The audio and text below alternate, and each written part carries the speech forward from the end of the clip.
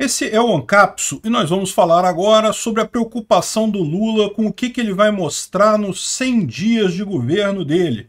Para quem não está sabendo, 100 dias de governo do Lula é segunda-feira, dia 10 agora, tá? Estamos chegando aos 100 dias de governo, viu? Já, já, já nos livramos de 100 dias de Lula no passado. Infelizmente, emburacamos em muita coisa e não tem nada de avanço, na verdade, para mostrar esse é exatamente o problema do molusco pinguço. Né? Essa notícia foi sugerida por Yuri Kirihata, pedreiro desempregado da Odebrecht, e várias outras pessoas. Obrigado aí ao pessoal que sugeriu a notícia, obrigado a você que está assistindo o nosso vídeo. Se você gosta do nosso conteúdo, por favor, deixe o seu like e se inscreva aqui no canal. Né? Pois bem, como sempre acontece né, nos 100 dias de governo, o pessoal faz uma visão do que está acontecendo aqui no governo. E a gente já viu que a imprensa já está preparando para passar o pano. Todo mundo viu a Isto É falando lá que a capa dela, não, que 100 dias é muito pouco para julgar o governo Lula. Ao passo que o pessoal mostrando que a mesma Isto É, quando fizeram 100, 100 dias do governo do Bolsonaro, não que Bolsonaro falhou nisso, falhou naquilo. Para Bolsonaro, 100 dias já era suficiente para julgar para Lula, não, ainda não sabemos, tem que dar um tempo e coisa e tal.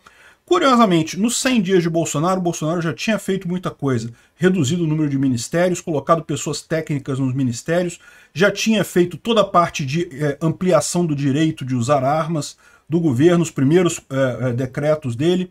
Enfim, Bolsonaro já tinha feito muita coisa nos 100 primeiros dias. É lógico, a imprensa não quer nem saber, né? A imprensa naquele momento já batia no Bolsonaro o tempo todo, independente do que ele fizesse, né? Mas enfim, o próprio Lula está tá cobrando isso das, dos auxiliares dele. Ele quer algo para exibir no marco dos 100 dias. O mais engraçado, ele falar aqui, essa reportagem da, da Folha aqui, conta como é que foi a reunião que teve com os ministros aqui, ó, tá? A reunião com os ministros e coisa e tal. Até aqui, a sua gestão tem se ocupado mais em reconstruir programas sociais desmontados pelo antecessor. Reconstruir coisa nenhuma, só mudou nome de programa. Voltou Bolsa Família, que era Auxílio Brasil, mesma coisa, então não mudou nada. Né? Minha Casa Minha Vida e Bolsa Família são programas que tinha na época do Bolsonaro também, só tinha outro nome. Casa Verde Amarela e Auxílio Brasil. Né? Aí na próxima eh, segunda-feira, dia 10, eles vão fazer a avaliação dos 100 dias, porque eles falaram, não, esses 100 dias vai fazer parte do passado, a gente estava consertando o que Bolsonaro fez. Agora a gente tem que fazer coisa nova. Aí a primeira coisa que ele fala aqui, que não, que deve, que a gente vai fazer de novo, que a gente vai mudar de verdade, coisa e tal, é o novo PAC. Peraí. O PAC já é antigo também, Lula. O PAC também é coisa velha. E olha só, e a coisa que não funcionou, hein? No PAC lá da Dilma, ela gastou uma fortuna com um monte de obra que não funcionou para nada, que não serviu para nada, só serviu para molhar o bolso dos construtores lá das construtoras do Brasil, da Odebrecht, da galera, dos amigos lá, dos políticos. E é isso que ele está falando aqui, né? Não, que o, o, que vai ter de novidade daqui para frente. Vamos fazer um novo PAC, que olha só, é, ele pediu ao ministro Paulo Pimenta que bolasse um novo nome para o programa para mostrar que o governo está inovando. Ou seja, a inovação do governo do Lula é mudar o nome do programa. Não pode chamar de PAC, vai chamar de outra coisa. É outro programa, totalmente diferente. Putz, grila, né? A gente avisou. O governo do Lula seria um governo preso em 2003. Um cara, é, é um governo de 20 anos atrás, para uma realidade totalmente diferente que a gente tem hoje, né? Enfim, e aí outra coisa engraçada, né? O Lula passou um pito nos ministros que tentaram conter a verborragia dele. Vocês sabem, o Lula anda falando muita merda, né? E é verdade, tá falando muita merda. E cada vez que ele fala merda, ele piora a situação econômica do país. É aquilo que a gente está vendo. O Brasil já não ia bem com botando um presidiário na presidência. Mas quando esse presidiário começa a falar que quer gastar mais, que, que, que o importante é ter responsabilidade social e não responsabilidade fiscal, que não, que os juros têm que baixar na marra. Quando começa a falar essas merdas assim, e também é, o que eles lembram aqui, né, quando começa a bater no Moro, bater no Bolsonaro, falar um monte de coisa, no final das contas, o que, que se mostra esse governo? Se mostra um governo que não tem proposta nenhuma. Só tá fazendo, só tem proposta populista, só tem coisa de querer gastar mais dinheiro sem nenhum projeto para o país. O Lula não sabe o que fazer com o Brasil. E a verdade é essa. Repara, o que ele está querendo para o futuro é um novo nome para um programa que existia desde 2010 o PAC é o máximo que ele chega em termos de inovação aqui no Brasil. Porque tudo que o Lula está fazendo agora é repetir o que ele fez lá atrás, que não deu certo, que só deu margem para um monte de corrupção, só deu margem para um monte de gasto público inútil, e, no entanto, ele acha que é isso daí que é avançar com o Brasil. Né? E, lógico, o revanchismo, como a gente viu tanto no caso do Moro quanto no caso do Bolsonaro. Aí ele brigou com os, é, com os é, correligionários, né, é, exigindo que o pessoal não fizesse mais genialidades. Agora, olha só, lembra que ele criticou os ministros que falaram coisa como aquela passagem de 200 reais do Márcio França, né? Falou com eles que não, que olha só, eu que estou guiando aqui, vocês não podem me dar dica, não. Eu que estou dando para vocês, não pode fazer genialidade.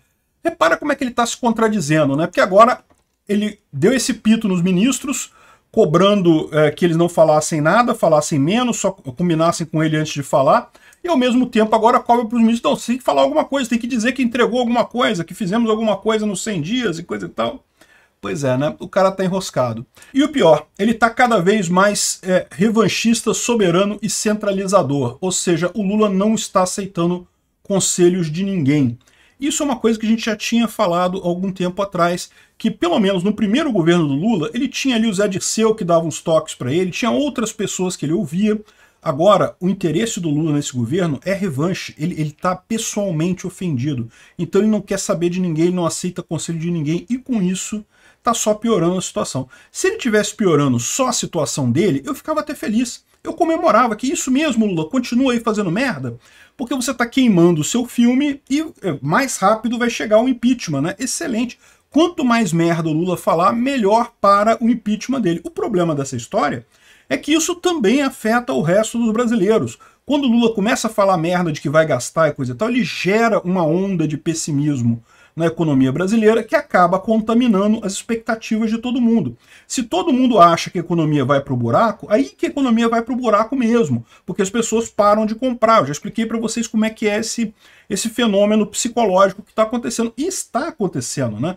O próprio Lula percebe isso quando ele fica preocupado. Não, que o pessoal tem que ser otimista, não pode ser pessimista com as coisas, tem que ser otimista e coisa e tal. Ô Lula, como que vai ser otimista se você tem um governo calcado em, é, em bater nos adversários, em só desfazer coisa do passado, em voltar para o passado, é, quer gastar dinheiro à vontade pelo governo, roubando a sociedade cada vez mais? Como ser otimista com isso? Isso não é um projeto de país. Isso é um projeto para torrar dinheiro de outras pessoas. É isso que o Lula tem. O projeto do Lula não é um projeto para a economia do Brasil, não é um projeto para a sociedade do Brasil. É um projeto que é, ele nem sabe o que, que era, ele não sabe ainda, né? Agora que está querendo inventar alguma coisa para dizer que é o projeto dele agora, depois dos 100 dias, e a maior parte continua sendo renomear coisas antigas.